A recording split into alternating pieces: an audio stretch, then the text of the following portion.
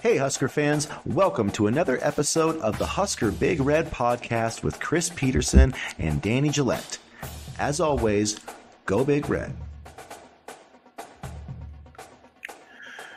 Good morning, Husker fans, and welcome back to the Husker Big Red YouTube channel. I'm Chris Peterson, and joining me as always is Danny Gillette, and we're back here for our Monday morning uh, podcast. And uh, Danny, how you doing this morning, man? I'm a little tired, but out here in uh, Boston and in New England, it's a Marathon Monday. So we got the Red Sox playing at uh, 11 a.m. We got the Boston Marathon to watch. So it's a fun day in these parts, Patriots Day. So I mean, it, it, it adds a little bit of excitement to Monday, which I generally almost always hate. So there's that. How are you? Oh, not too bad. Uh, good old Patriots Day. Pretty tired, a little, a little sleepy, but that happens when you have a baby, I suppose. But yeah. Uh, but yeah, I forgot about old Patriots Day, so that's kind of a fun day in Boston. So yeah, it is for sure. That'll be cool. But um, was a big weekend for uh, Nebraska, the, the Cornhuskers, especially the football program, getting a couple of big commits, some visitors, had a, um, the first scrimmage of the spring a bunch of things happening in the transfer portal with some visitors. Um, tough weekend for the baseball team, losing two out of three mm. against Rutgers, but you know it is what it is. But uh, let's get to it, man. As first, uh, first topic, I guess. Uh, you know, let's talk about some of these wide receiver commitments. The Jackson Carpenter on Saturday, the in-state three-star receiver, you know, makes his commitment. Ends a little bit of a commitment drought for Nebraska. That you know, that just always, kind of always is one. You know, when you have that spring period, um, right. but that ended that, and then uh, the commitment drought didn't last very long. One day, as on Sunday, three star Bryson Hayes, who got a crystal ball um, or an expert projection from uh, Brian Munson from Husker Online on uh, Saturday, that turned out to be uh, correct on Sunday. So back to back days. It's really interesting that uh, Carpenter, I think, is ranked number 885 in the 24 7 composite yep. rankings. Hayes is number 886. So, you know, you can take that for what it's worth, but I like both of these guys a lot more than their ranking, I guess. So, what are your thoughts, Danny? talk about a couple of fun days. Nebraska certainly had some this weekend, and Carpenter, I think, is going to be an absolute steal. I mean, he's already ranked 88th numerically in the 24 7 sports rankings. Um, you know, the 72nd overall athlete in the composite and the seventh overall player in the state of Nebraska.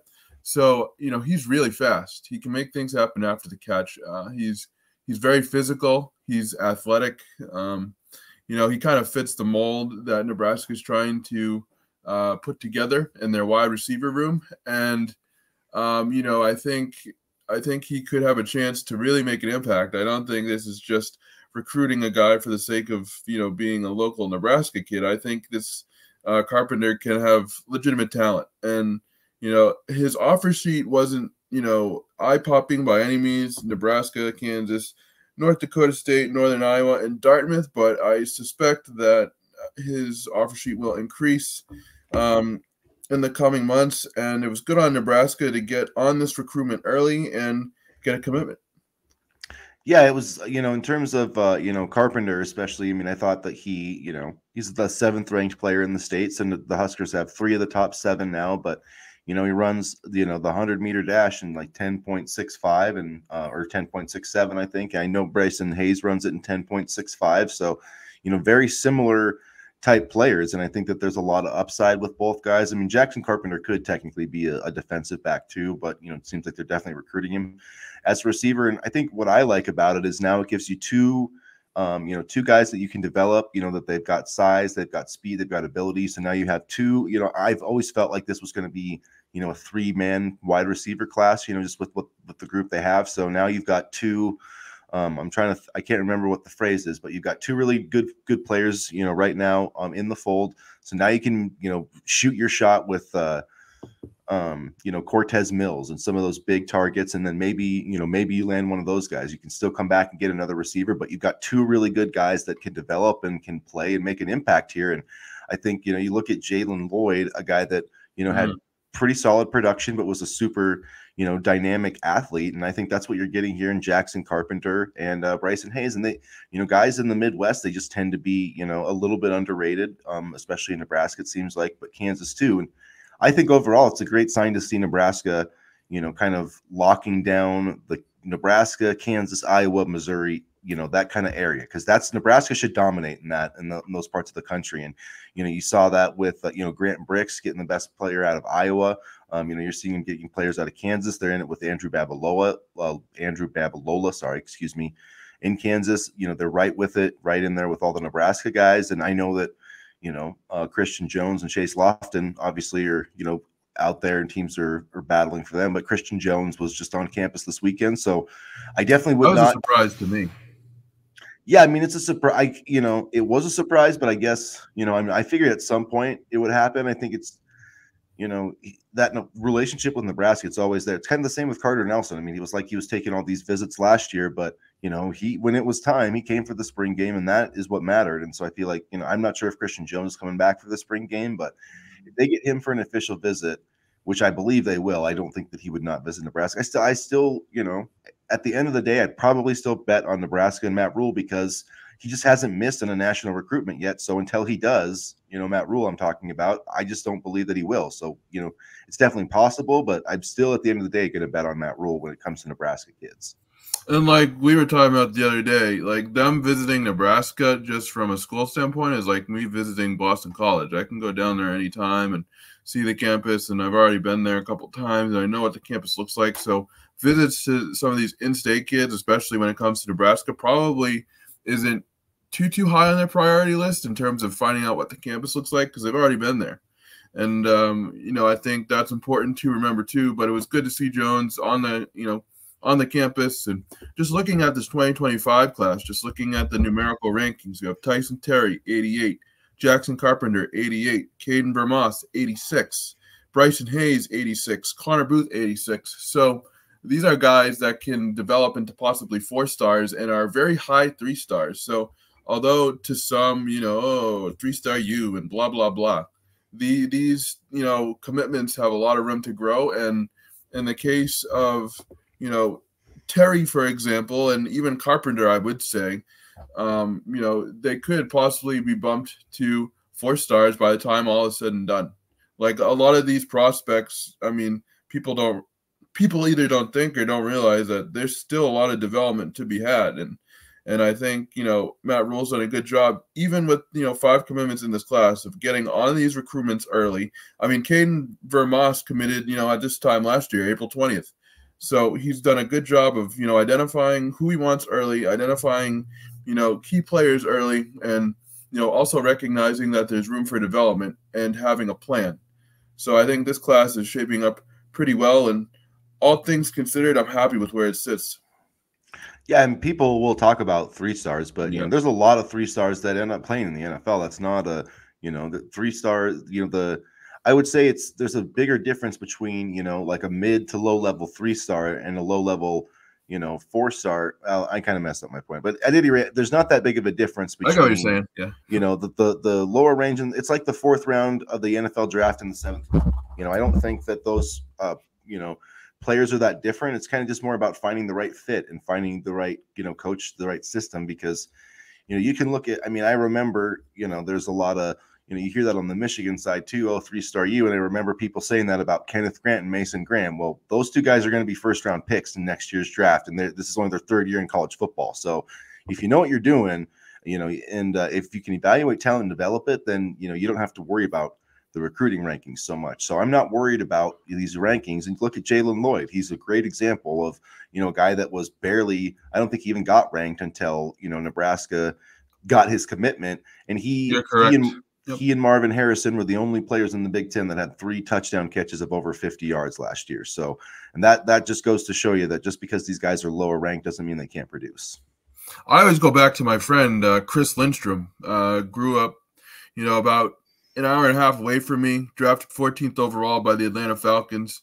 Uh, two-time second team All Pro, two-time Pro Bowler, drafted in um, 2019. So, I mean, I mean, you know, especially as a lineman, a former lineman, you know, three-star linemen aren't something to necessarily be overlooked. And I'm happy for you know Chris and his development, and it just shows that, you know, sometimes you can outplay your ranking. I mean, and for Chris, you know, he played high school football in Massachusetts, and I think, you know, it's kind of a case where he might have gotten, you know, overlooked um, nationally because he played in Massachusetts, kind of like we see with some Nebraska kids not being ranked properly.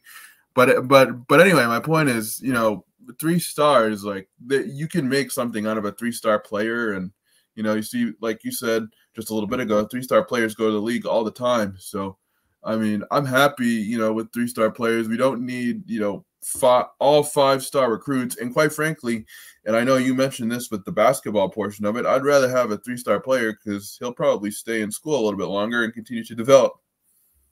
Yeah, I mean, I definitely think, especially with basketball, that's part of the, you know, conversation trying to find the right guys that are going to fit and be multi-year players. And you know nebraska's probably not going to have that issue as much as you know a team like you know a duke or kentucky or something. But right. we saw that with calipari. I mean if you if you just recruit you know a bunch of five star kids they're not ready. They're not old enough to play in this transfer portal era. And i, I think that's why you know part of the reason why he's at arkansas now. And it, that's going to be interesting to see how that whole thing shapes up. But yeah. at any rate um let's switch to uh some spring ball talk now that we switched in some basketball there really fast on a random note but we're all over the um, place but, but, at any rate i do really like where this 2025 class is building for yes. the huskers they're yep. in a great spot you know tj latif they got a lot of guys coming for spring spring practices and, and the spring games. So, you know, and this is a this is a competitive team. And I, I honestly think that, you know, the spring league that they have, I think that's going to be something that's attractive to players and just that was a great idea. Was that their first yeah. year? Yeah, that's the first year they've done that. I love the guy. I think Bobby Hessling. I'm not even sure if that's yeah. his real name. You know, I don't know if they if that's his actual name, but he is he's pretty hilarious. Um, I don't know who he is, but want to give him a shout out. And yeah. I love those highlights, and it gives us a it gives us a look into spring ball. You know, they do the player interviews, um, which are fun gives them more of an opportunity to you know work on their media relation skills and stuff but but mostly i just love the competitive spirit of it and man you know even though we didn't get a lot of highlights yesterday it was it's interesting though that there was more uh, danny kaelin highlights in the spring you know minute or the spring scrimmage highlight they released yesterday than dylan raiola i don't know just seems like maybe that's that's slightly intentional but danny kaelin's definitely playing his butt off right now though it is. I mean, they don't want to show Dylan. Raiola. I mean, one post and we immediately write about it, and next thing you know, he's the best thing, and fans are going nuts. So it is intentional. They know what they're doing. Um, I mean, Dylan did have one throw in there. They, they showed him kind of stepping up and dropping a uh, throw. So I think it's they, also kind of smart because it just lowers expectations. Because you know us, every single Dylan Raiola highlight, where we're you know thinking he's the next best thing, and we're off-season champions, and we're gonna win it all. So I mean, I'm I'm I'm happy to see Danny get his due. I think I think with all the Dylan Raiola talk, I'm not going to say he's underrated, but he's definitely taken a little bit of a back seat just in terms of you know fan excitement and things like that. So, you know, he's no slouch either, and um, I think that you know as long as he continues to develop and keeps developing, he's going to be equally as good a quarterback. Um, maybe not equally as good a quarterback, but he's going to be, you know, not a huge drop off from from Raiola. So, I mean, we'll see what happens, but I'm just happy that the quarterback room seems to be developing at a high level. Yeah, they, they uh, definitely are. And I mean, Matt talked about, you know, he's, he's talked about the unique um, arm strength of uh, Dylan Raiola, but I something that you know stood out with me and probably a bunch of other people was you know he talked about their uh, that he's never had like a college quarterback in 11 years been able to do you know what these guys can do in terms of like identifying protections and all that type of stuff so there's a lot too that you know with quarterback there's a lot that goes beyond just the physical aspect of it and both of these guys seem to be well ahead of the curve in terms of you know handling all that stuff so i think that's a pretty good sign and you know far as far as them playing right away. I think I saw Emmett Johnson, you know, making some highlights there. He's looking really good. Dante um, Dowdell had a 30 yard run on Saturday. Yeah, and he, um, I've been, I've heard, uh, you know, more of his name, um, you know, Dante Dowdell, you know, popping up there, which I think is good. Um, I heard some good things about Stefon Thompson, which is um, good because I think he had a little, I don't want to say rough start and criticize him, but he had a slow start to begin things. I think it is, you know, it does seem to be that, you know, Matt Rhule runs a tough, he runs a tough program that some guys aren't always quite ready for. So, um, you know, but it seems like those guys have kind of, you know, found their way. I mean, the, it happened last year and, and, and those guys all, you know, were able to make it work. So, um, yeah, I, I think, uh, you know, things are going pretty well with the spring. Have you, you know, heard some other stuff, Danny, about the scrimmage or spring ball of this past week? Yeah, I, I had heard that, um, the starting offensive line on Saturday was uh, Prochazka, Henry Lutovsky, Ben Scott, Justin Evans Jenkins, and Bryce Benhart.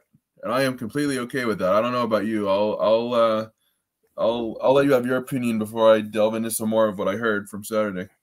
I like that uh, uh, lineup. Yeah, no, I like that group. Um, Henry Lutovsky is a very is a he's played well when he's had opportunities, and um, I've been talking him up since the 2022 season. So yep. I'm not shocked that he is in the mix there. And Evan Jenkins played well last year. Um, you know, he's we talked about him on Saturday as a guy that probably will be their starting center next year. He's been taking number two reps there, but yeah, that doesn't surprise me at all. I will be interested to see what happens. She's having microphone issues today. Keep knocking my mic. I'll be interested to see what happens when um you know Turner Corcoran comes back and if they're gonna have him be a guard or a tackle, you know, and that I think that'll be kind of interesting. But um, but yeah, still a lot of football to go. But I like the depth that they've got up front to actually have you know tangible O line depth. It feels like for the first time in a long time. Absolutely. And, you know, you don't have to worry about if somebody gets injured, what are you going to do? Like now we have, now we're starting to be able to cycle in players and things like that, which is important. Uh, Haarberg, I had heard started on Saturday, and he is looking really good in these scrimmages. I've heard the past couple of weeks he's looked really good. So although you know the odds may be against him, let's be honest here, he's not you know just throwing in the towel. He's still producing at a high level. Um, on Saturday, a wide receiver lineup of of uh, Bonner, Jalen Lloyd, and Alex Bullock uh, was present. So I think that's interesting. I know Bonner um, plays fullback sometimes as well. Um, uh, Dante Dowdell uh, had a 30 yard run on Saturday, and you know I think that's uh, that's a good sign because I hadn't heard too much about him in terms of you know uh, practice reports and things like that. And um, Ashton Murphy, the recruit from last year, the commit from last year, played really well. Um, and I think he just needs to get a little bit bigger, obviously, and a little bit stronger. You know, I would expect that coming from a from a, um, you know a younger player. Once they hit that uh, strength and conditioning program, which is I think already you know we're already seeing the returns for Nebraska, you know, I think that will help him even more. Uh, Turner Corcoran has done a really good job of, you know, helping Grant Brix and coaching him up on the line, which makes sense because we've heard a lot of positive feedback on Grant Brix over the last week or so. And Matt Rhule's been impressed. I know you wrote an article about it on HuskerBigRed.com on Thursday, I think it was, how, you know, Matt Rhule was impressed by Brix. So that's encouraging as well because Brix is going to be a key piece of the future. And, you know, by all accounts, he's a good kid too. So he has a lot of things going for him. And I'm happy he's adjusting well because it's not always easy for freshmen. And, um, you know, Blye Hill is going to, you know, get into the corner mix very quickly. Uh, he's long, he's fast. Uh, he's not afraid to hit, is what I'm hearing. So, I mean, this was something that you talked about last week as well. Uh, you know, we we've mentioned Hill's name on the show a couple times, and um, you know, I think out of all of the commitments and the transfers that we got in the you know 2024 class, I I, I feel like he flew under the radar a bit, but it's good to hear that he is making an impact on the field. And um, that was about all I had heard from Saturday, but there was a lot of good notes in there. Um, I'm happy that Turner is coaching up Grant because, you know, I think peer coaching can be useful too. And I'm excited about um, I'm excited about the combination of Bonner, Lloyd, and Bullock because although Alex Bullock maybe not be the most explosive and fast like some of the other wide receivers in the room, he does have good hands and he knows you know the system from last year already. So I, I'm I'm not going to say he's going to be an All American, but I can see him playing a big role due to the fact that he has familiarity and you know he is a you know a consistent player when given the opportunity. Um, and plus, you know, you need to block. You need to have receivers that are willing to block too. Yeah, um, is another yep. thing that sticks out in my mind. Um, especially if you want to run the ball as as much as I think Nebraska wants to. I think they're gonna.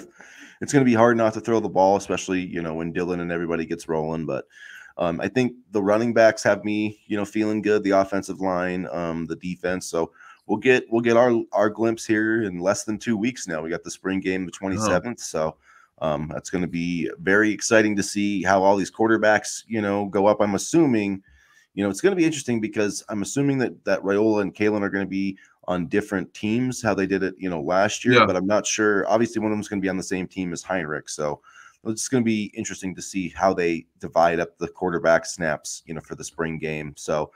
Um, at any rate, last thing I wanted to get to today, um, you know, transfer portal talk. I guess for a couple of reasons, because um, one, I believe the football transfer portal is opening today or tomorrow. I'm not 100% sure if it's. I believe it's uh, today.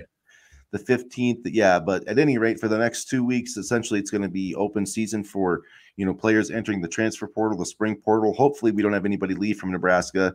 I know some people have talked about adding a fourth quarterback. I don't personally no. see that happening or think that that's necessary because I just we've talked about a guy wanting to come here to know that he's probably not even going to get a chance to play. I mean, exactly. That's exactly right, Danny. I don't see that, you know, unless you get a guy that comes and plus they don't have scholarships. I mean, they don't really have scholarship rooms. So are you going to try to, it's going to have to be somebody like a walk on that's going to take an NIL deal that, you know, basically knows they're not going to play very much. And you already kind of have the veteran and Heinrich Haarberg, who, you know, like Danny said, it's been playing by all accounts, he's really stepped up his game. So, to me, they just needed a veteran quarterback, and they already have a guy who won five games as a starter for him last year. So if they need, if they're in a, a tough situation, that's a pretty good guy to turn to.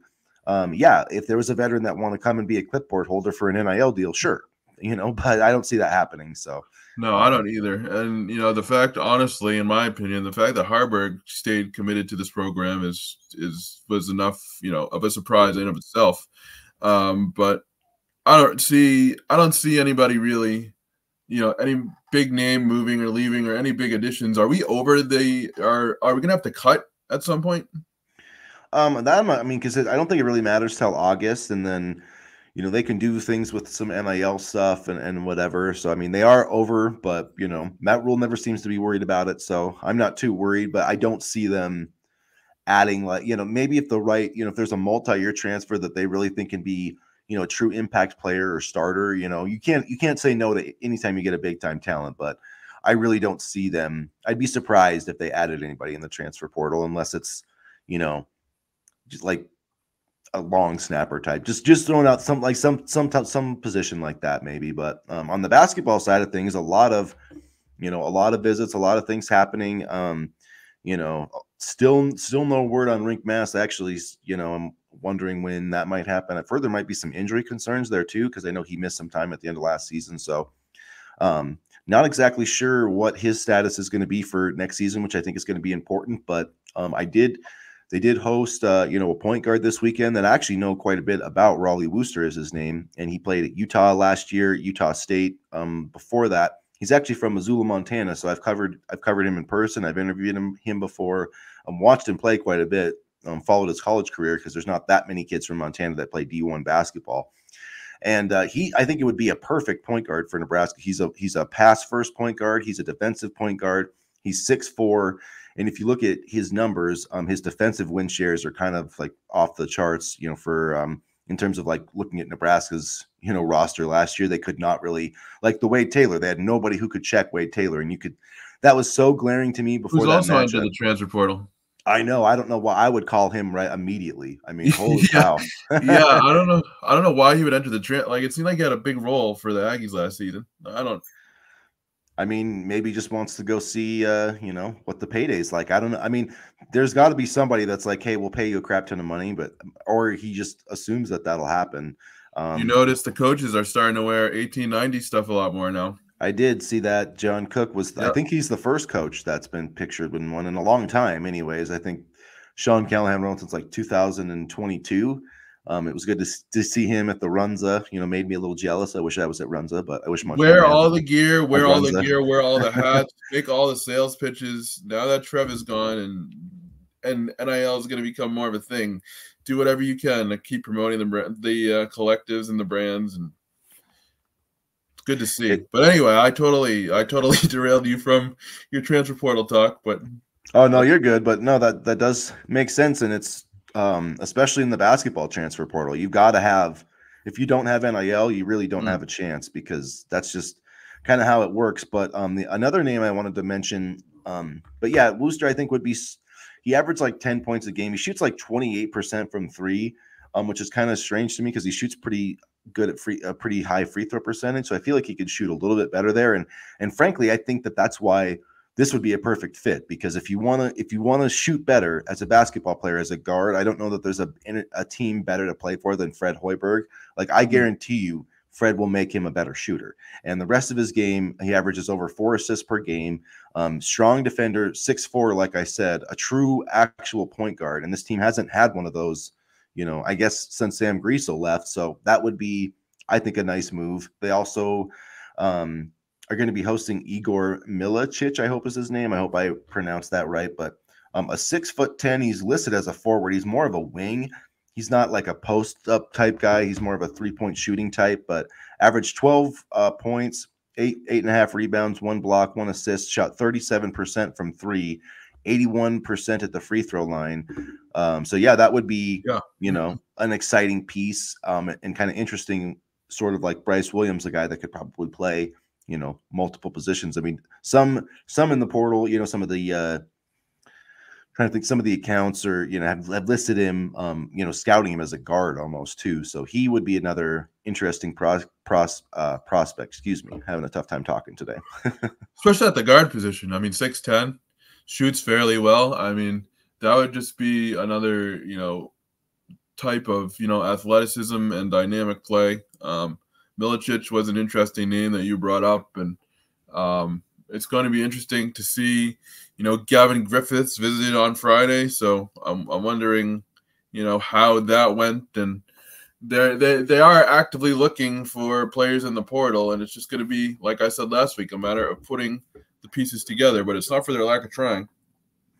Yeah, if you got if you got Worster and Gavin Griffiths, I feel like those guys could come in and start, you know, right away, basically. So then you could have that could be your that could be your backcourt, and then you could have Brice Williams and Juwan Gary as your front court, you know, and then Rienk Mast if he's there, Andrew Morgan if he's not. Um, I know Frankie Fidler's going to decide here shortly. Um, so probably that decision will probably be out before we even post this podcast. So we'll see how that goes. I don't, my guess, because he can play right yeah. away. Like and or Michigan State. It seems like I don't think I've heard some buzz about Nebraska late. So I mean, right. don't be shocked, I guess. But I don't, I don't buy. it. I heard I Creighton was offering him more of a bench role, so he wouldn't go there. But I mean, honestly, if I want to play in March, I'm gonna go go play under Tom and, Izzo. I mean, that dude is a March wizard.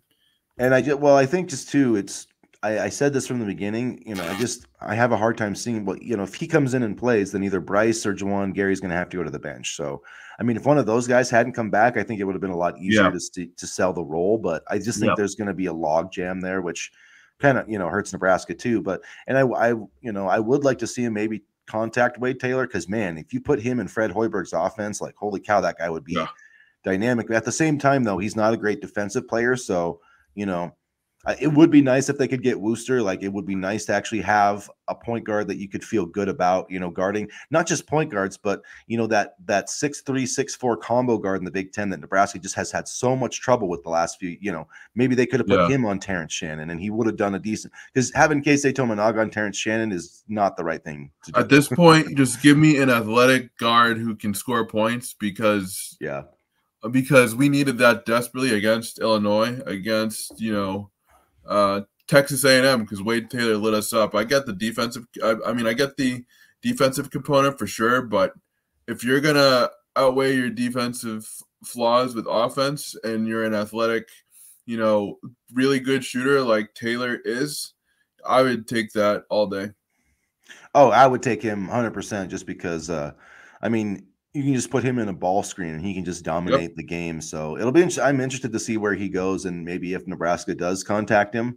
But um, with I just think with Griffiths and his shooting ability, and and and, and you take Raleigh Wooster and all the stuff that he does, if he could become a slightly better shooter, which I think is very possible under Fred Hoiberg and and Griffiths too, I think would be a great player under Hoiberg. Uh, I think that would be a really a really um, you know high level backcourt for Nebraska. It has a yeah. lot of potential, and uh, so we'll see. I feel like you know there's going to be some news, hopefully coming soon with Rienk Mast. Um, you know whether he's going to declare for the draft or you know come back to Nebraska. I don't know if that injury has any you know lingering impacts. Um, I've seen some message board talk about that, so don't really want to get too much into it. You know before there's some actual reporting on it, but definitely seems like that decision is taking longer than one would expect it to.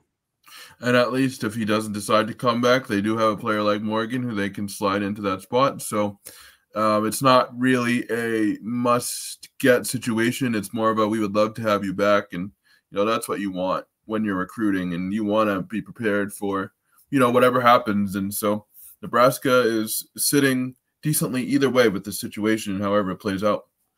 Yeah, and William Kyle still out there, the yep. South Dakota State forward from Nebraska. Um, Pharrel Payne from Minnesota is another guy that they've been in the mix with. So I want him. Um, yeah, I'd like him to. Uh, I think he would be either one of those guys. I would be happy with multiple and, years um, of development and you know decent size for the position, uh, and is familiar with Big Ten play as you kind of talked about last week. So yeah, an average 10 points a game. You know, you just you need the Big Ten's a tough conference. I mean, it is. And and Fred, to his credit, it took him a year or two, but he's adjusted to that. And I don't very think, well. Yeah. I, I really I would say, you know, they need to add two more bigs. If they, you know, so either, you know, they need to add Mast back and somebody else. So I still think they're gonna have some work there because you need you need three guys that are like six ten to play in the Big Ten, or you're gonna have mm-hmm. a tough time. so um at any rate I think that's what we got here for today. I better get rolling, you guys. But uh, thanks so much for joining us on this Monday episode. We'll come back on Wednesday. I'm sure there'll be a lot of talk about you know basketball transfer portal, probably some surprising football transfers, not hopefully at Nebraska, but just on the larger scale. Fingers crossed, nothing happens. Yeah, fingers crossed for Nebraska, but I think we're pretty. I think we're pretty set. So, um, at any rate, thanks for checking us out. If you don't already uh, subscribe to the channel, please do that. Hit the like button, get into the comments section, and uh, everybody have a great week and go Big Red. Go Big Red.